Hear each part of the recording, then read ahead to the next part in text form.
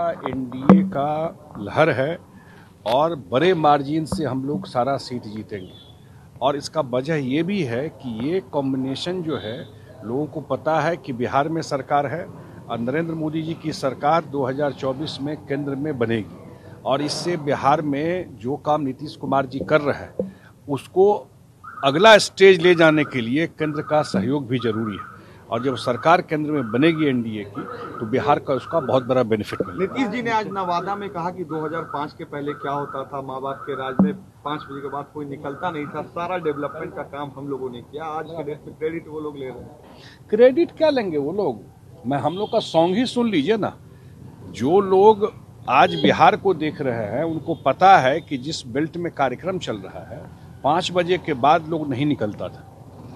जो लोग सरकार उस समय चला रहे थे, पटना में भी सात बजे शाम के बाद नहीं निकल सकते थे आप लोग। और एरिया का तो बात छोड़ दीजिए। ये स्थिति बिहार की थी, वहाँ से नीतीश कुमार बिहार को यहाँ तक लेके आए। और जो भी काम किया है यहाँ पर नीतीश कुमार के सरकार में एनडीए ने यहाँ डेवलपमेंट का काम यादव कह रहे हैं कि नौकरी हम दिए हैं पाँच लाख। कहाँ से नौकरी दी है? और दस सवाल भी पूछ किस वो सवाल तो ठीक है। हाँ खुद पूछे हैं कि क्या हुआ है। लेकिन ये बताइए ये नौकरी पहले से बिहार में जो 2005-6 में इतना टीचर को नौकरी दिया गया तो कौन दिया था नौकरी? और अभी जो मुख्यमंत्री होते हैं वो हेड होते हैं गवर्नमेंट के। कोई फ़ाइल बिना मुख्यमंत्री के होता है। और जो स्वास्थ्य विभाग में कितना नौकरी दे दी है? जो विभाग के खुद मंत्री थे, उन सब विभाग में कितना नौकरी मिला है? सत्रह महीना में। वो भी हिसाब पूछिए।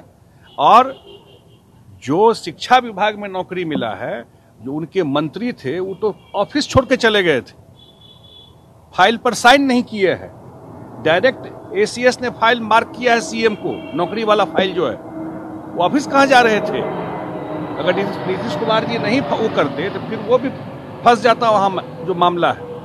ये जो कुछ भी किया गया है नीतीश कुमार जी के द्वारा दिया गया ये नौकरी की बात है। परिवारवाद को लेकर के बोल रहे हैं। और दस सवाल दो। भ्रष्टाचार परिवारवाद की बात अगर प्रधानमंत्री जी पर कह रहे हैं तो प्रधानमंत्री जी जिन लोगों को टिकट दिए हैं नवादा में ही विवेक ठाकुर को टिकट दिए। तो विवेक ठाकुर को स्ट्रगल करना पड़ा है टिकट लेने के लिए। ये नहीं था कि उनकी पार्टी थी विवेक ठाकुर जी की। आप पार्टी में गए और टिकट लेके चले आए। बीजेपी उनकी पार्टी, माने उनके परिवार की पार्टी नहीं है। लेकिन जिनकी बात आप कर रहे हैं, उनकी परिवार की पार्टी है। वो तय करते हैं कि वो कहाँ से लड़ेंगे।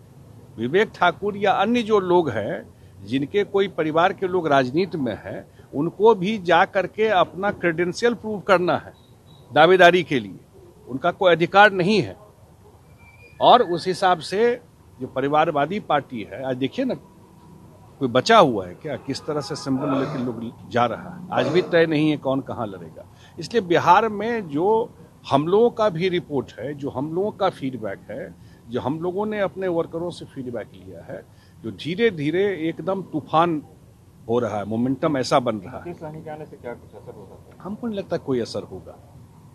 ये सब जो है आप क्यों आप इस सब लास्ट मोमेंट क्या होता है आप जानते हैं। अच्छा, है, हाँ? लेडीज़ पर्स मिला है हाँ मतलब इस पर हम क्या टिप्पणी करें। ने जेल से छूटने के बाद आज कहा है कि नीतीश जी जेपी के आंदोलन से निकले और एनडीए में चले गए हैं।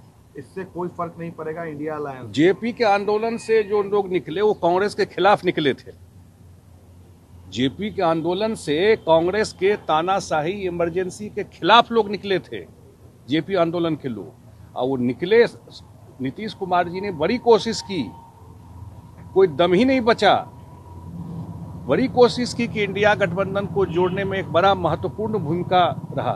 और जब देख लिए कि इसमें कुछ नहीं है कोई दम नहीं है किसी को कोई लेना देना देश और काम से नहीं है तब उन्होंने फैसला बिहार के इंटरेस्ट में यह फैसला लिया है। अच्छा तेजस्वी यादव कह रहे हैं कि विपक्ष के नेताओं को परेशान किया जा रहा है ईडी सीबीआई की तरफ़ से मुझे और बीजेपी में जो जाते हैं वो सही हो जाते हैं? ये मैं ये तो डिबेटेबल बात है कि भाई जो गड़बड़ करेगा तो कानून आज है ना कोर्ट जो लोग कह रहे हैं जो जेल ले गए तो कोर्ट से क्यों नहीं जमानत मिल जाता?